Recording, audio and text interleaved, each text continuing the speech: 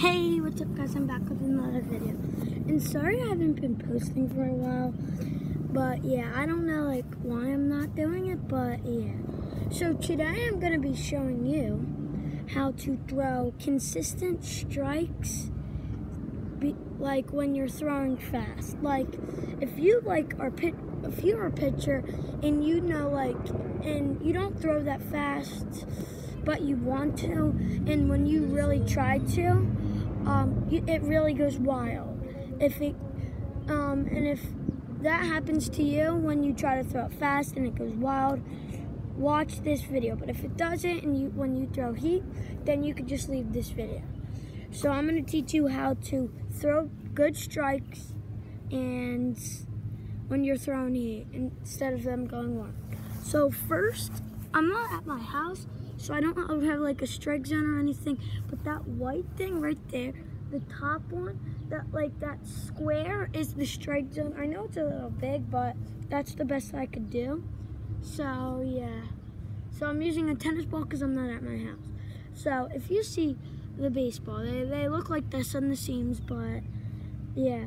So once you see it, you can really grip it any way you want, but I usually grip it like this, like these two seams, and then my fingers here.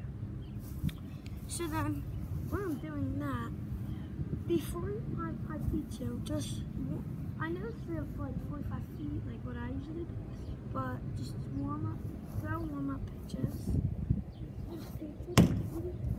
Like, that was a ball. but Just get warm, get your arm loose.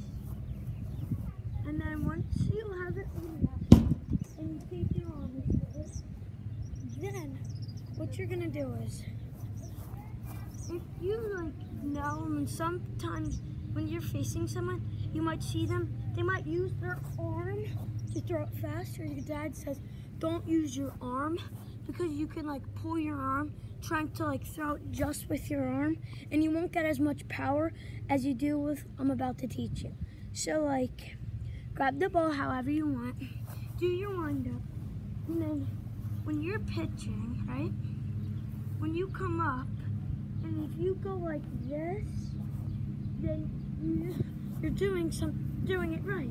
But then when you're going like when you go like this, and then like if you push on this foot right here and like push and then just like drive and throw, it will be like, if you keep doing it, just do the same thing over and over again and you'll start to get consistent with it, like this.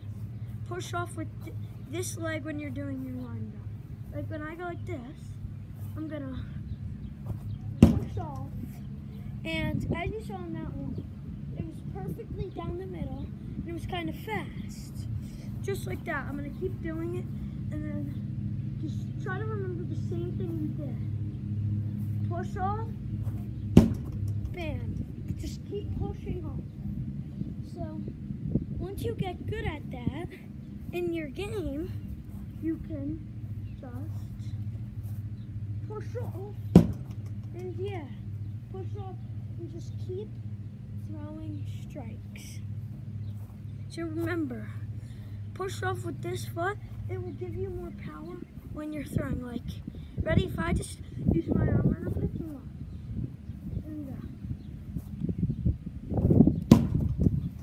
I know you guys are like, you throw it way faster with just your arm. But if you use the same motion you do with your arm, and you try to throw as fast as you do just with your arm, add your back foot with that speed. And then you'll start to throw it fast. But before you start to do that, just practice pushing off your back foot and just throwing like that.